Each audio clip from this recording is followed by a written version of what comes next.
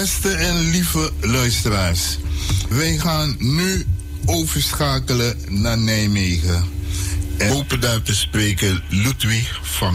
Ludwig, goeienacht, goedenavond, goedemiddag. Goeden, wat Iwan, bedankt. En ik neem de draad weer op door uh, te beginnen, zoals ik traditioneel begin, de luisteraars erop te wijzen. Nadat ik natuurlijk al die internationale luisteraars extra heb gegroet.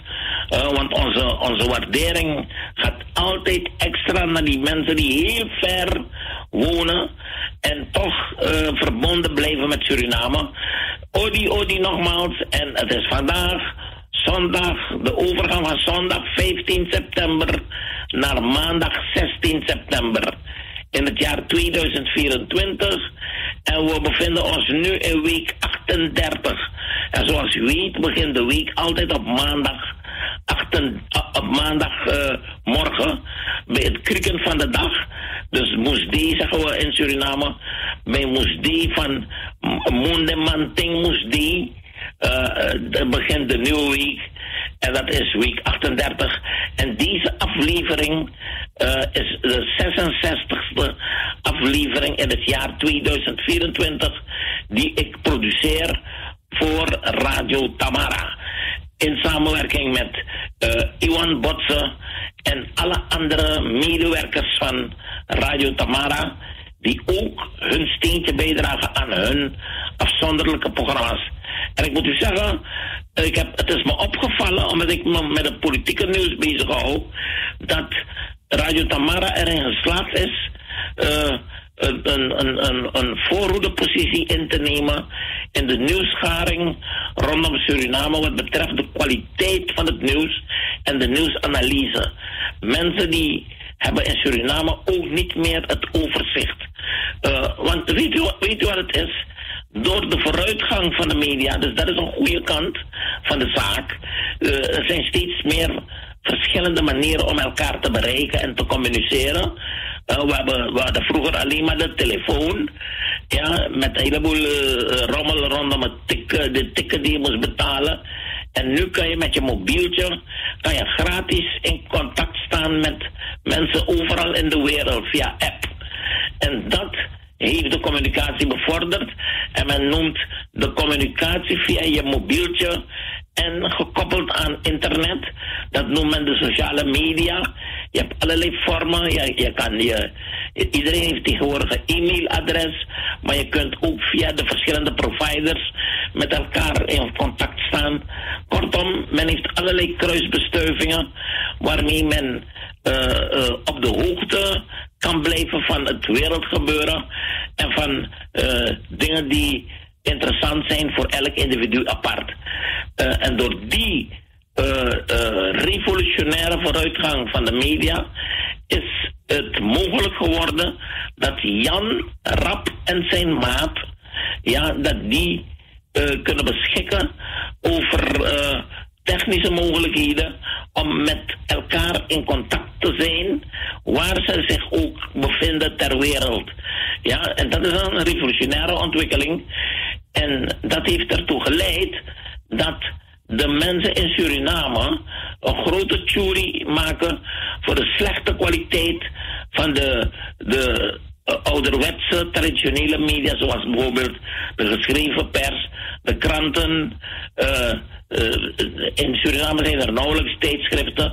Ik moet u zeggen, ik heb een bijzonder, terwijl ik dit zeg, heb ik een bijzondere waardering voor de radioomroep en voor de televisie en voor al die Surinamese oudere media, ja, die met heel weinig middelen en vaak primitieve technische omstandigheden er toch in geslaagd zijn een mediawereld uh, in stand te houden in Suriname op een zeker niveau. Maar de wereld, dat internationale gebeuren, is Suriname voorbij gestreefd. En dat betekent dat de kwaliteit van het nieuws in de wereld op een veel hoger niveau is komen te verkeren dan de nieuwsgaring in Suriname. En dat betekent ook dat Surinamers die in Suriname wonen ook de internationale technische mogelijkheden benutten om op de hoogte te blijven van de moderniteit, zal ik zeggen. Hè? Alles wat gangbaar is in de, in de moderne tijd. Daar is men beter van op de hoogte als men zich rechtstreeks wendt tot de bronnen van het nieuws in de wereld. En dat kan men nu doen met de eigen uh, particuliere privémiddelen die ter beschikking zijn. En daardoor lopen de Surinaamse media achter. Ik heb het zo technisch mogelijk gehouden, het verhaal, uh, om u meer de, de richting aan te geven van hoe de nieuwsontwikkeling zich voltrekt vandaag de dag. En dat betekent dat de Suriname leidt aan kwaliteitsverlies doordat die, die bevolking andere internationale middelen ter beschikking heeft om beter op de hoogte te zijn van het actuele nieuws. En dat, daar maken ze gebruik van. Maar er is ook een negatieve kant. Door de lage drempel uh, naar de technische middelen en door de lage letterdheid van onze bevolking, waar ik in dit programma regelmatig op wijs en, en de nadruk erop leg, omdat kennis eigenlijk het belangrijkste is van ons bestaan hier op aarde. If you know up kennis, fusa epsa, dan ga je in de war raken en dan kan je uh, uh, het, het, koren niet meer van het kaf uh, onderscheiden. Dus je kan, je kan niet meer analyseren van wat er om je heen gebeurt. Je kan niet bepalen wat erg is en wat minder erg is, omdat je te weinig gereedschappen hebt in je hersenen te weinig dingen hebt geleerd waarmee je, je van dienst kan zijn. De dingen die je van dienst kunnen zijn bij het beoordelen van wat er om je heen gebeurt. Ja, daar is kennis een belangrijk uh, instrument van. Uh, dus je moet je kennis voorop stellen, je kennis vergaren want er zijn zoveel mogelijkheden om kennis te vergaren. Je kan door op school te gaan kennis krijgen. Maar je kan ook, men noemt dat on the job. Door te werken voor jouw dagelijks brood, leer je ook in het werkproces, leer je aan het werk hoe de wereld in elkaar zit. En je leert van je buurman en je buurvrouw die jouw gegevens uh, verstrekken, die zij weer weten. Je leert dus van iedereen. En, en dus die, die vooruitgang van die internationale media, uh, die heeft ertoe geleid dat de Surinaamse burger langs meerdere wegen zichzelf kan ontwikkelen. En dat is een goede zaak. En daardoor uh, kunnen de mensen beter kiezen. Maar het heeft een negatieve kant. Namelijk die negatieve kant is dat door de toegankelijkheid van de media uh, is dus Jan Rap en zijn maat, zo zegt men dat in het Nederlands. Je, men zegt het sneller, ik, ik zeg het opzettelijk langzaam, dat u begrijpt wat die uitdrukking betekent. Jan Rap en zijn maat betekent Kojo en Konersi van de straat, ja, die weinig uh, geletterdheid kennen. Ze zijn een beetje op school geweest, maar ze zijn al die dingen een beetje vergeten. En ze werken met dus wat ze ter beschikking hebben, hun hersenen. Men noemt dat het kale verstand. Hè? Men, men noemt dat uh, ze gebruiken hun hersenen om staande te blijven in die maatschappij. En dan zie je dat de kennis die ze eens hebben geleerd op school, uh, die 1 en 1 is 2 in de eerste klas, dat zijn ze langzaam vergeten. En daardoor zijn ze minder goed in staat. Men noemt het wel, ik heb het eerder in dit programma behandeld. Men noemt het het discriminerend vermogen. En discrimineren is een neutrale term om aan te geven dat je onderscheid kunt maken tussen goed en kwaad, tussen slecht en slechter, tussen goed en beter, dat je dat zelf kunt beoordelen. En, je, en naarmate je weinig kennis hebt opgedaan, uh, weinig onderwijs, ga je niet zo goed in staat zijn die ingewikkeld wordende omgeving in de wereld te begrijpen. En dan hebben we elkaar nodig om bij te benen. En het is, het is allemaal positief bedoeld. Want vaak interpreteert men mijn uh, kwalificaties negatief. Dat is niet de bedoeling om mensen uit te lachen, omdat ze minder begrijpen van de wereld. Het gaat erom, je moet je bewust zijn van het feit dat je, je pas kennis hebt als je beseft dat je geen kennis hebt. Dat je beseft dat je een niet begrijpt. Als je dat goed eerlijk tegen jezelf kan zeggen, dan, dan begin je kennis te verwerven. Want het begint bij de eerlijkheid naar jezelf toe. Hou jezelf niet voor de gek dat je dingen weet. Luister dus naar de mening van anderen, want die kunnen jou, jouw kennis laten aanvullen. Dingen die je minder goed weet of half weet, die kunnen anderen voor jou aanvullen. Dus door naar anderen te luisteren, gaat jouw kennis vooruit. Dat is het belang van met elkaar samen te werken. En niet zomaar te lopen samen dit en boondroesjes en, en, eh, en, samen een pom eten of een roti samen eten. Dat is niet samen. Samen is begrijpen dat je elkaar nodig hebt in het begrijpen van jouw leefomgeving. Men noemt het ook wel met een moeilijk woord de habitat. Dat je je habitat begrijpt. Hè? Dat je sapsaipsa, dan komt tapoe. Goed, en dan moet ik direct van start gaan, uh, want uh, er is weinig tijd.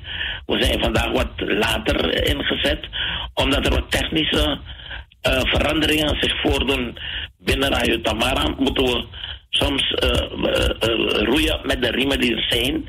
En dat heeft dus een, een mindere resttijd opgeleverd. Internationaal is het heel erg druk ook in de wereld, want het politieke nieuwe seizoen is in vele landen aan het beginnen weer. Eh, de vakanties zijn bijna voorbij. Niet overal is op hetzelfde moment houdt de vakantie op. De vakantie, de scholen beginnen in verschillende landen op verschillende uh, data. En, en, en ook de politiek, het nieuwe seizoen. In Nederland is dat altijd uh, in september de derde dinsdag in september begint de Nederlandse politiek voor het nieuwe seizoen. En dat, dat richt zich op het nieuwe jaar dat in aantocht is. Dat is het jaar 2025. En, uh, maar voordat ik dus daartoe overga, even een breaking news. Ik heb het een uur geleden vernomen. Het is heel vers. Van de pers krijgt u dit nieuws. Dat er een tweede aanslag is gepleegd op president kandidaat Donald Trump, ja, Donald Trump in de Verenigde Staten, de presidentskandidaat van de Republikeinen. Er is weer een aanslag, een moordaanslag op hem gepleegd. De FBI heeft dat bekendgemaakt. De FBI, de, de Amerikaanse politie en, en, en, en, en uh, samenwerkingsverband tussen uh, uh, geheime diensten, die maken bekend dat er op het golfterrein, het privé-golfterrein van, van meneer Trump, Donald Trump, dat daar een aanslag is gepleegd op zijn leven. Uh, men heeft geen duidelijke indicaties. Wel heeft men een, een dader bij de kracht kunnen vatten, maar even in volgorde wat er aan de hand is. De FBI heeft geconstateerd dat op de locatie waar Trump heel vaak graag gaat golven om te ontspannen, zijn eigen privé golfterrein, Trump International Golf Club in West Palm Beach in Florida. Daar was hij om een beetje te bekomen van die verkiezingscampagne uh, met, tegenover de, de democraten van Kamala Harris heeft, heeft hij daar, uh, gaat hij een beetje uh, golven op zijn golfterrein, want het, het bleek dat hij graag golft. En toen is er bij dat golfterrein dat open toegang biedt aan derden die geen lid zijn. Die mogen daar zich ook begeven. Met de, FBI vindt dat een gevaarlijke situatie. Ze hebben het hem vaker gezegd dat hij onveilig is op zijn eigen golfterrein, omdat het golfterrein open is. Je kunt van alle kanten het golfterrein op. En dat uh, Trump daar op zijn eigen terrein grote afstanden aflegt. Waarbij dus de controle moeilijk is te handhaven. En daar was hij weer eens een keer. En toen is op een afstand van 350 tot 450 meter... heeft een uh, onbekende persoon zich uh, begeven met een SUV, dat zijn die grote terreinwagens, heeft een persoon zich op dat terrein begeven met een, met een wapen AK-47, oftewel in Suriname in het leger noemen we het de AK, oftewel de Kalashnikov, uh, met een vizier. Dus dat je op lange afstand iemand in het vizier kan krijgen, een, een soort verrekijker gemonteerd op het geweer.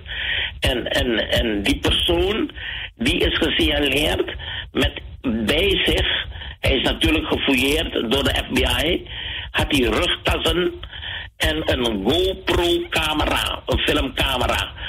En, en eh, op een gegeven moment heeft hij weten te ontkomen aan de controle van de politie, is hij gevlucht.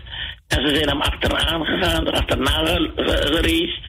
En ze hebben die SOV, die SUV van hem, uh, hebben ze tot staan gebracht en ze hebben die man gearresteerd. Dat is een mogelijke verdachte. Het kan dat die man alleen maar toevallig daar was. Het kan ook een afleidingsmanoeuvre zijn. Maar de FBI zegt, er zijn schoten gehoord die in de buurt van Trump zijn afgeschoten. Dus, er zijn, dus men, is de, men is de zaak nu aan het onderzoeken in welke mate die meneer uh, de persoon is die de echte verdachte is.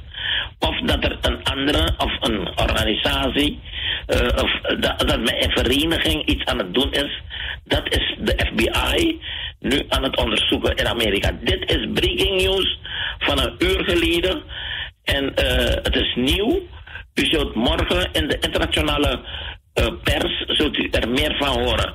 Ik hou het hierbij omdat ik uh, in dit programma mij niet richt op het onthullen van nieuwsfeiten. Dat wil ik ook eventjes zeggen erbij. Uh, dat ik, ik, dingen die vers van de pers zijn, die breng ik zo gauw mogelijk voor u onder uw aandacht. Maar dat is niet de signatuur van dit programma. Dit programma wil ik me bezighouden met de Surinaamse en de internationale politiek voor zover die met Suriname te maken zou kunnen hebben, uh, hou ik me internationaal bezig met uh, alle politieke feiten. Want er zijn mensen die af en toe reageren dat ze meer Surinaams nieuws willen horen. Dan moet u niet in dit programma zijn. Dan moet u gewoon via internet kan je alle Surinaamse radioprogramma's volgen. En, en dus er is niks aan. Als u snel op de hoogte wilt zijn van een brand of een verkrachting of een aanrijding en, en het nieuws en zo, daar ben ik niet voor. Ik ben voor analyse. Om samen met u te analyseren wat er aan de hand is in ons land. Zodat of opdat u de nieuwsfeiten beter kunt rangschikken, kunt rangschikken en kunt begrijpen. Dat is de signatuur, dat is het kenmerk van dit programma. En ik streef ernaar in de toekomst met Iwan Botsen, onze hoofdredacteur, om steeds meer te bestuderen uh, hoe wij u als luisteraars actief kunnen betrekken bij dit programma in discussie uh, uh, met als doel het begrijpen van de Surinaamse politiek. En dan ga ik verder. Dus de, de, laten we het bericht afsluiten. De FBI heeft dus tenslotte bekendgemaakt dat ze verder onderzoek uh, doen. Uh, dus voorlopig hebben ze één gearresteerde verdachte. Ze hebben de aanleiding van het nieuws is dat er, daarmee had ik moeten beginnen eigenlijk, dat er geweerschoten zijn gehoord in de buurt van waar Trump aan het oefenen was op zijn eigen golfterrein. maar in ieder geval de, de, zegt men, men is alleen goed aan het onderzoeken wat er precies uh, heeft plaatsgehad. Maar dat er iets heeft plaatsgehad is een feit. En er is al ook een bericht gestuurd door de FBI naar de president van de Verenigde Staten, Joe Biden. Want dat moeten we niet vergeten. Door die hele verkiezingskaravaan van de Verenigde Staten vergeten, vergeten wij wel haast dat uh, Joe Biden ook nog meetelt al is het zo dat uh, de Democraten uh, Kamala Harris in stelling hebben gebracht als hun presidentskandidaat bij de komende verkiezingen. En dat heeft ertoe geleid dat het nieuws rondom Joe Biden een beetje naar de achtergrond is geschoven. Maar men, de FBI heeft dus hem als president verwittigd wat er is gebeurd met, met uh, Donald uh, Trump op zijn eigen golfterrein. En uh, men heeft hem ook in bescherming genomen. Dus Trump valt nu onder de bescherming van de Amerikaanse inlichtingendiensten en in samenwerking met de FBI. En het komt erop neer dat men mede in verband met de verkiezingen die 5 november zullen worden gehouden, in feite een, vinger aan de pols houdt. En men heeft in dat kader, heeft men dus Biden en Kamala Harris officieel, met een officieel bericht verwittigd dat er sprake is van een tweede aanslag op uh, kandidaat Trump van de Republikeinen. U, ik breng u in herinnering dat de eerste aanslag plaatsvond in Pennsylvania op 13 juli, is Trump, uh, heeft hij een schamschot, en zo noemt men dat, een schamschot gekregen aan zijn oor. En in dit geval was de uh, FBI er eerder bij en heeft men voorkomen dat een verdachte met een AK-47 gericht zou kunnen schieten op Trump. Dus heeft men die potentiële aanslag kunnen verijdelen. Maar nogmaals, de zaak is in verder onderzoek. Ik ga verder met het Surinaamse nieuws. En ik kan u zeggen dat alles. Uh, ja, voor ik naar Suriname ga, moet ik natuurlijk, dat heb ik ook aangekondigd uh, eerder, dat we begrijpen dat in Nederland het politieke seizoen gaat beginnen morgen. Dat is dinsdag, is Prinsjesdag. Dat is dan 17 september 2024 ja, gaat het kabinet Schoof, een buitenparlementair kabinet, ja, dat, wil zeggen, dat we zeggen een kabinet dat na overleg tot stand is gekomen, na heel lang overleg. Ik breng u in herinnering, in 2023 waren er verkiezingen, dat is vorig jaar. En uh, op 2 juli 2024, eh, jongsleden, is eigenlijk het kabinet Schoof tot stand gekomen en kan nu bij de Prinsjesdag, die jaarlijks op de derde dinsdag in september plaatsvindt, waarbij traditioneel de Nederlandse uh, wordt wordt gehouden en de bewindvoerders in Nederland, de politieke bewindvoerders, hun beleid voor het komende jaar 2025 uiteenzetten. En dan komt er in de pers uh, een heleboel kritiek los van de verschillende instellingen die reageren op de nieuwe plannen van de Nederlandse politiek. En Nederland is een democratie. Met, uh, met een monarchie gaat die samen. Die monarchie heeft een, uh, een ja, een, een, een, een, laten we zeggen, een ceremoniële functie, ja.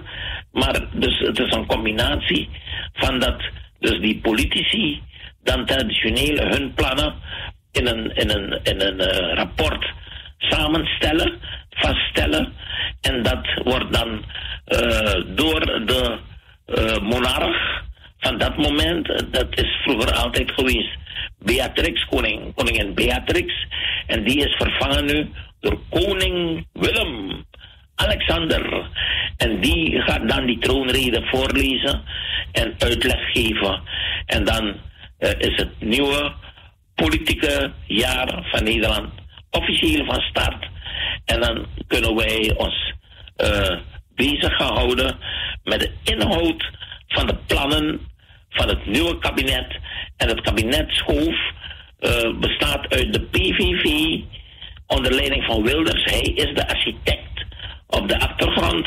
Maar hij heeft een samenwerkingsverband gesmeed samen met de VVD.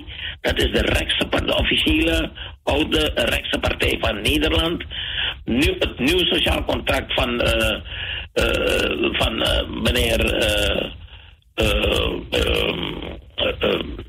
hoe heet hij weer? ik, ik, ik, ik vergeet die man zijn naam altijd. Maar goed, die man is nu ook een beetje uit de wind gehaald. Omdat hij, uh, Pieter Omzicht, ik kom plotseling weer op zijn naam. En hij, dus hij is een beetje uit de wind gehaald. Omdat hij een beetje overspannen is er zijn altijd problemen met die mensen, zijn geestelijke gemoedsrust. Dus dat is ook een, een, een aspect dat later grotere politieke betekenis gaat krijgen.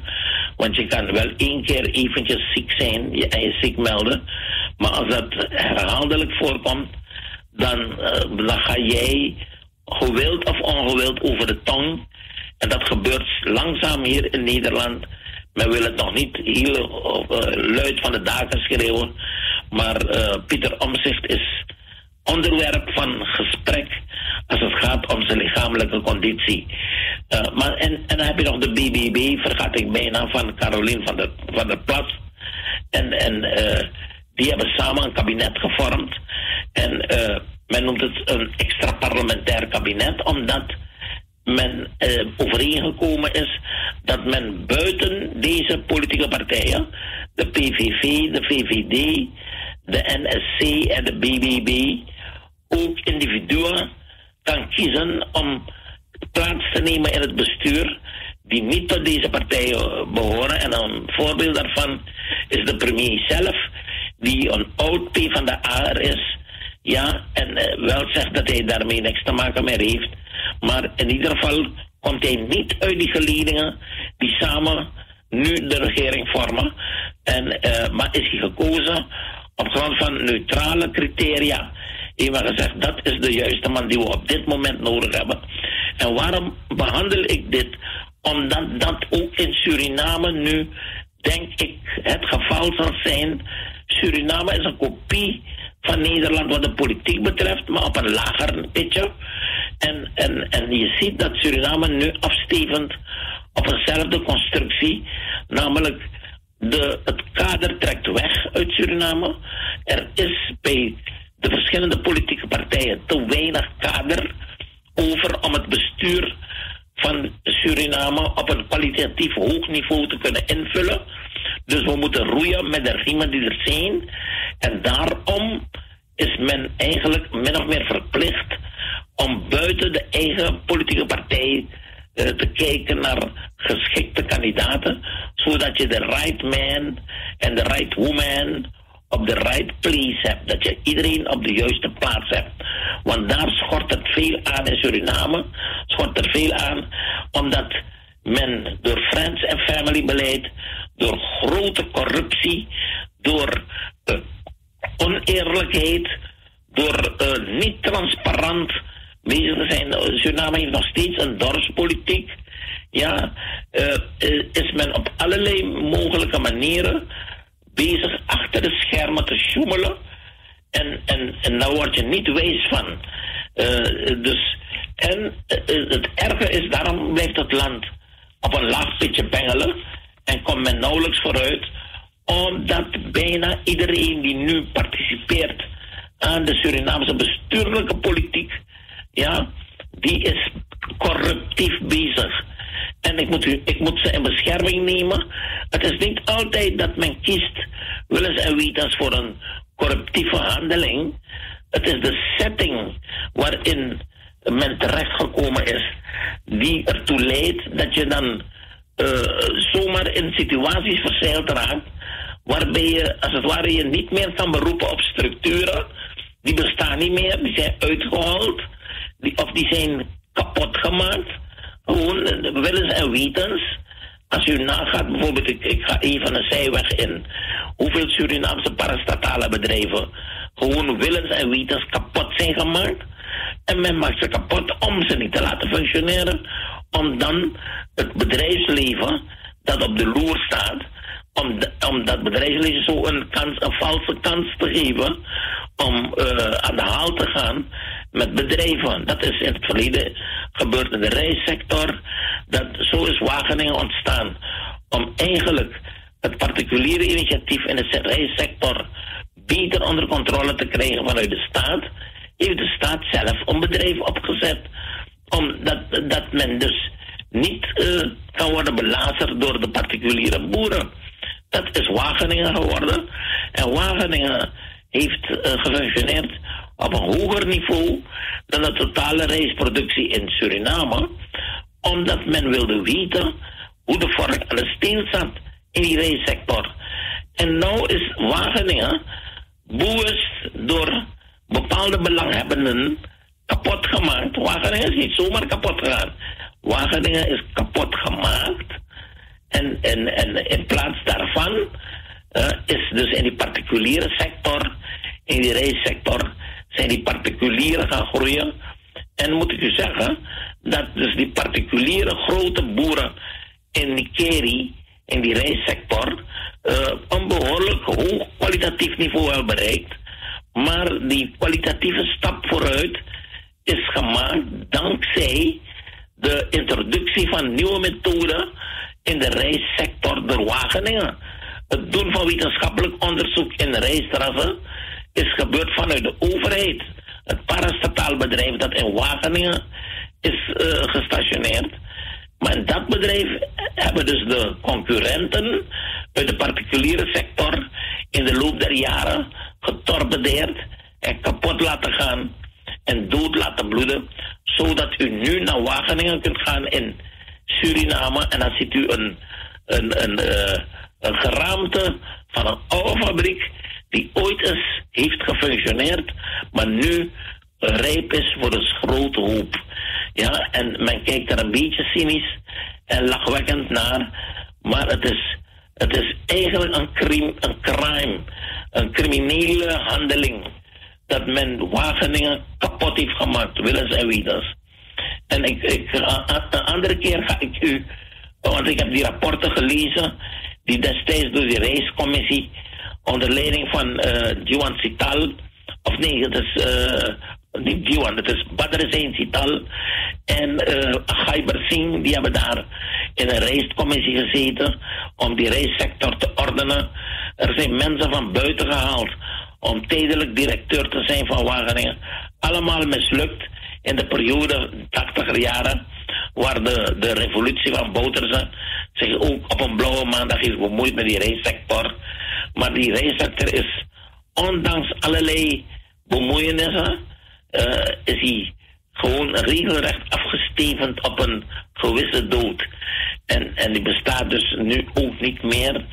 En daar is ook een heleboel gesteggel over de, die stalweide en een heleboel andere uh, aspecten van uh, dat voormalige parastatale bedrijf, dat nu uh, in feite is verkaveld aan particulieren. En dat is allemaal niet transparant geschied. Het is één grote rommel en het heeft geleid onder andere tot scheuring binnen de NDP.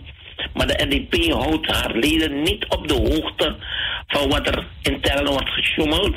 En daarom weet niemand wat er precies is gebeurd daar in Wageningen.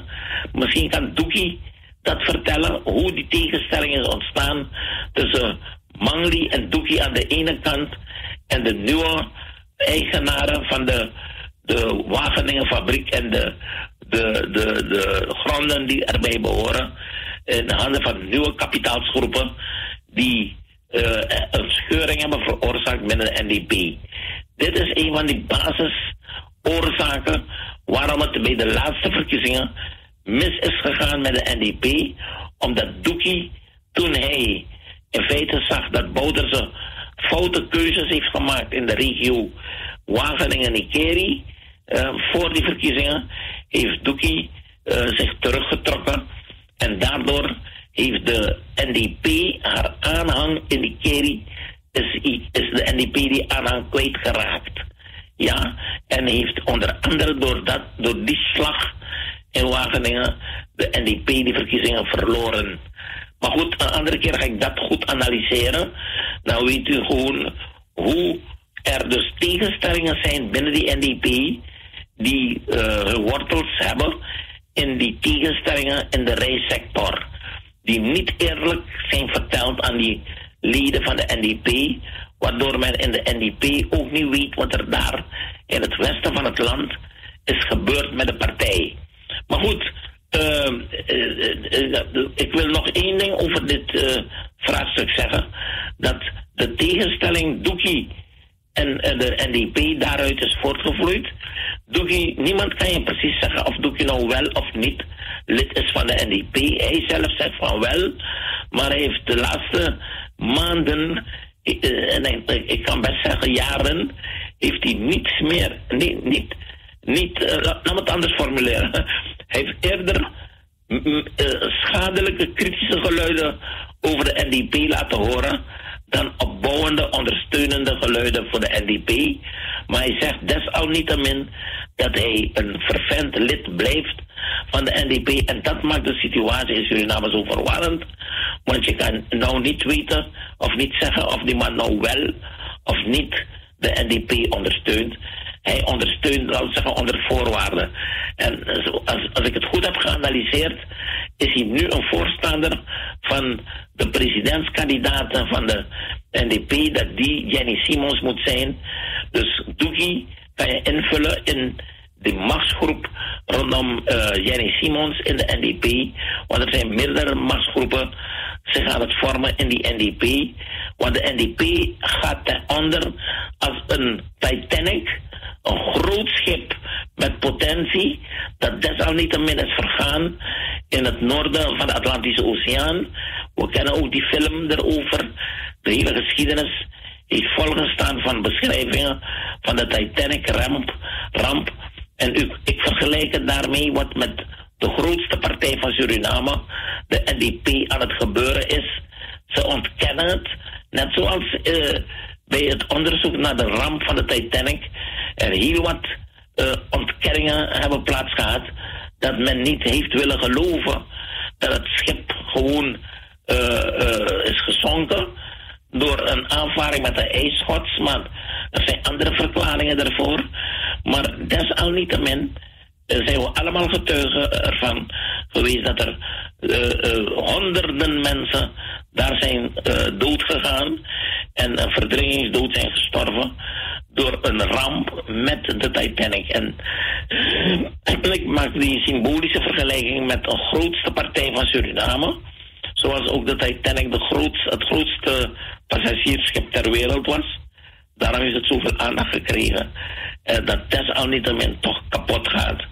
Uh, door koppigheid, door nalatigheid, door onkunde aan de ene kant en door nieuwe ontwikkelingen. En, en bij de Titanic waren dat maritieme ontwikkelingen.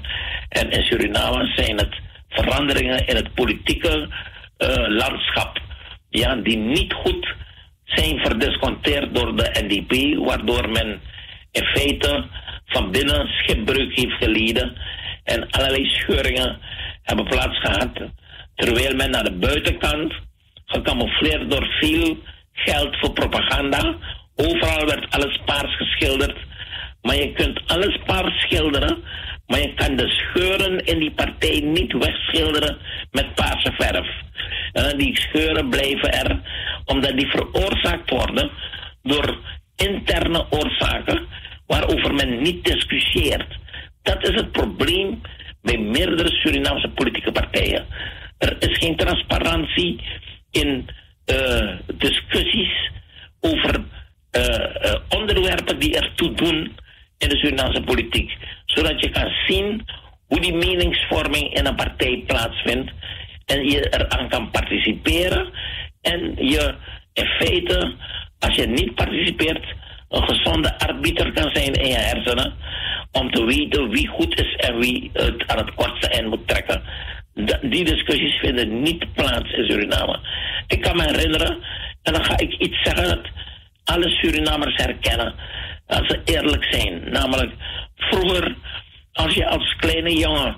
Ik was altijd nieuwsgierig.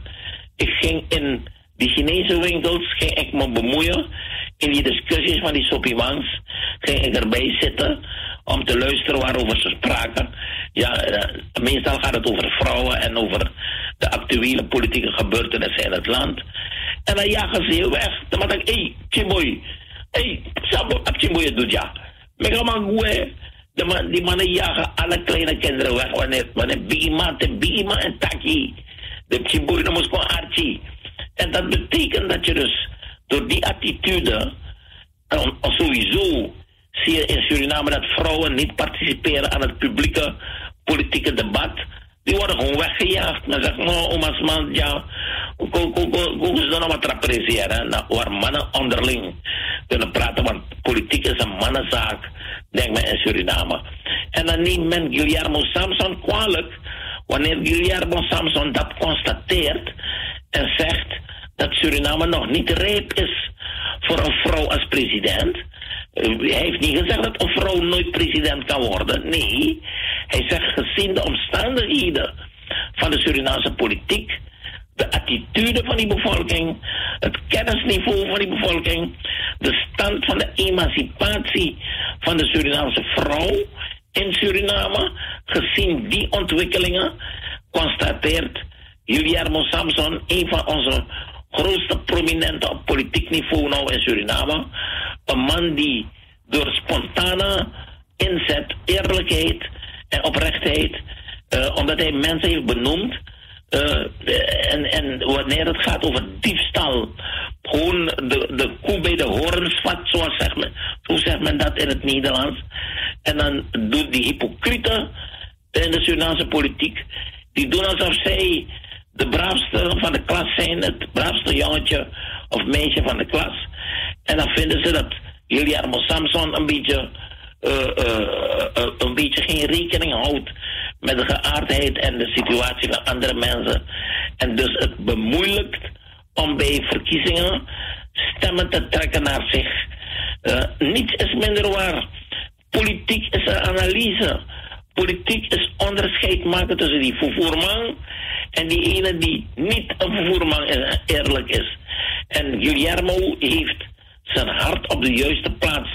Hij is een Jaja die heeft getoond door zijn arbeidszame verleden en zijn werk dat hij een, een universiteit op eigen kracht heeft opgezet met een eigen gebouw, met zijn eigen geld heeft bekostigd. En, en hij heeft in de praktijk dus bewezen dat hij een succesvol ondernemer is. Hij onderneemt op het gebied van de wetenschap. Hij is een waardige concurrent van de Surinaamse Universiteit. Want door zijn activiteit houdt hij de wetenschapsbeoefening in Suriname scherp. Waardoor we niet wegzakken naar niveaus waarvoor wij ons moeten schamen in de wereld. Daar zorgt Guillermo in zijn eentje voor. En dat hebben we gelukkig een aantal wetenschappers heeft dat door. Dat dat de betekenis is van meneer Guillermo Samson. En Guillermo die heeft uh, meegedaan op een spontane, eerlijke manier aan vorige verkiezingen in Suriname. Waarbij hij de politiek als privépersoon ten dienste heeft willen staan met wetenschappelijke ondersteuning. Dat is de betekenis van Guillermo Samson. Dat hij uh, met zijn wetenschappen, hij is geschoold in meerdere wetenschappen, uh, heeft hij de top behaald. En is hij met die kennis, heeft hij een kennisinstituut opgezet, het IBW in Suriname, dat succesvol draait en dat veel kader heeft afgeleverd, dat elders in de wereld in topposities uh, terecht is gekomen. En in dat kader zag ik het ook dat Guillermo daardoor uh, heel belangrijke Surinamers heeft aangetrokken bij het IBW. Eén daarvan is onlangs overleden. Dat is professor uh, Wong, Theo Wong. Die heb ik ook gekend. En ik zag uh, in het kader van de evaluatie van de betekenis van Guillermo Samson als ideoloog, nationale ideoloog van Suriname, die uh, de Surinaamse politiek uit de praktijk kent. Het is een man die in die politiek is meegegroeid, maar altijd de wetenschappelijke afdeling heeft willen, willen vormgeven. En daar heeft hij bijgedragen. Hij is de, de, de belangrijkste man geweest bij de oprichting van DA91. Hij is medeoprichter van DA91.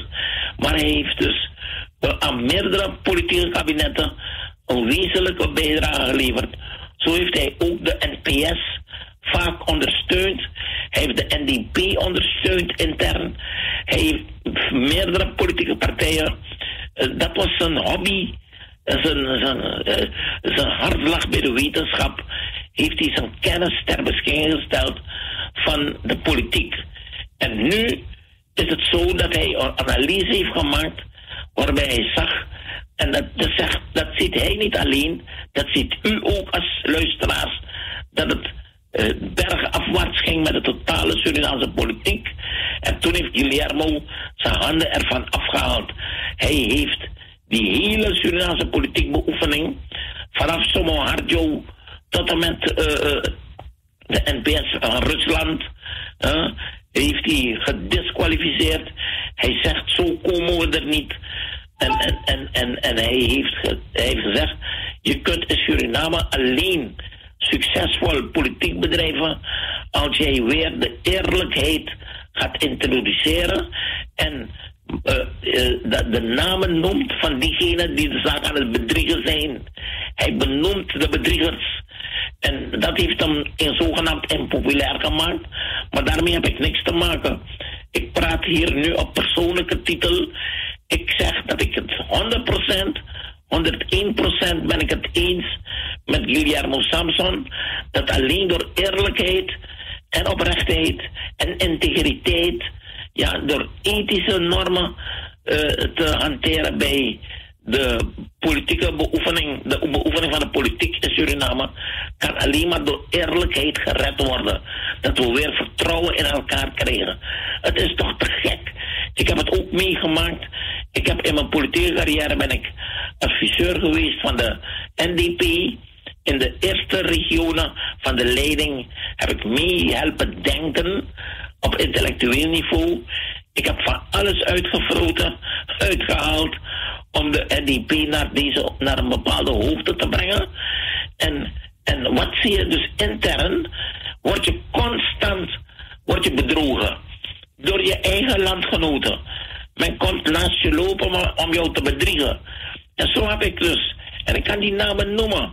Ik heb, uh, ik heb uh, in 2006, 11 november 2006, heb ik opgericht de actie voor de sociaaldemocratie in Suriname, de ASD. En ik heb mensen benaderd en ik noem er één van die, die, hetzelfde heeft uitgehaald wat nu meneer Van der Leuven heeft uitgehaald met de ANSB. Heb ik al eerder meegemaakt dat je, je, je betrekt iemand, ik heb meneer Overman, die in ongenade was gevallen, wat hij had van alles uitgehaald in zijn leven wat het daglicht, daglicht niet kon verdragen. En ik ga die man zijn privé hier niet bespreken, maar ik heb het over het politieke voorbeeld. En ik dacht, laat me deze man ondersteunen met mijn wetenschappelijke bagage. Probeer ik uh, een, een, steun te verlenen aan een interne politieke ontwikkeling in Suriname. Ja, ja. Net, na een tijdje is de man. Uh, uh, en, en, en, dus je vraagt, nam het vergelijken met het vragen van iemand om voor jou een broodje te gaan kopen op de hoek bij de Chinees. En geeft die man geld. En, en, en, en, en, en eh, voor mij wordt een tas om die broden. Uh, jij moet brood gaan kopen, je geeft hem een geld en een tas om die broden te versjouwen. En dan zie die man nooit meer terug. Die man kwam niet terug. En zo heb je het in het Surinaams taxiwezen. Je stapt in een taxi en het eerste wat die taxichauffeur bedenkt is hoe jij je gaat oplichten. Daarmee is men bezig in Suriname. En dat ding heeft vanaf de NDP-regering een vlucht genomen in Suriname. Dat iedereen de boel aan het bedriegen is. En daarom heeft Guillermo Samson gezegd: hiermee, hier wil ik niet aan meedoen. En hij noemt, man, hij noemt namen van mensen die kwalijk bezig zijn geweest met die zaak de staat op te lichten. En ik ga eindigen, want ik hoorde hoofdredacteur al uh, wenken dat het zover is. En dan wil ik u zeggen, hè, tot slot, daarmee eindig ik, uh, dat de Surinaamse politiek wel degelijk gered kan worden door rekening te houden met deze ontwikkelingen die ik nu noem. Met, ik, ik noem de hoofdstukken die van belang zijn voor het veranderen van de Surinaamse politiek. En dat is één, de geschiedenis. We moeten die politiek kunnen koppelen aan die geschiedenis. Uh, twee, we moeten het populisme bestrijden. Dat is het misbruik maken van de laaggeletterdheid van de Surinamer. Ja. Drie, we moeten het onbehagen in de democratie. De hele, in de hele wereld staat de democratie onder druk. Ik ben bezig de literatuur van Amerikaanse filosofen door te spitten. En ik kom hiermee in het programma om u uit te leggen wat er in Suriname veranderen moet. Om het onbehagen in de democratie te bestrijden. we moeten de etniciteit die in Suriname is geïntroduceerd door het Nederlands kolonialisme, dat het etnische groepen van elkaar heeft vervreemd, dat moeten we gaan herstellen. Dat is een hele moeilijke klus. En ik noem het het Nederlands separatisme van het kolonialisme. Dat moeten we bestrijden. Ja, en, en dat, het laatste punt, eh, daarmee eindig ik, is het, het nationalisme moeten we beter gaan bestuderen. Het Surinaams nationalisme dat na de Tweede Wereldoorlog vormen heeft gekregen, ideologische vormen. En die ideologische, de ideologische lijn is gekoopt door de linkse beweging. En de decolonisatiegedachte, die is begonnen bij de NPS en overgenomen door de VAP, maar is verworden tot een, geklungel met, met corruptie en met uh, nieuwe dingen, zoals men dat noemt, van friends and family gedachten. Uh, het is een complete chaos geworden. En de politieke organisaties, moet de, de organisatie van het, laten we toe zeggen, de politieke structuren moeten we gaan herinrichten.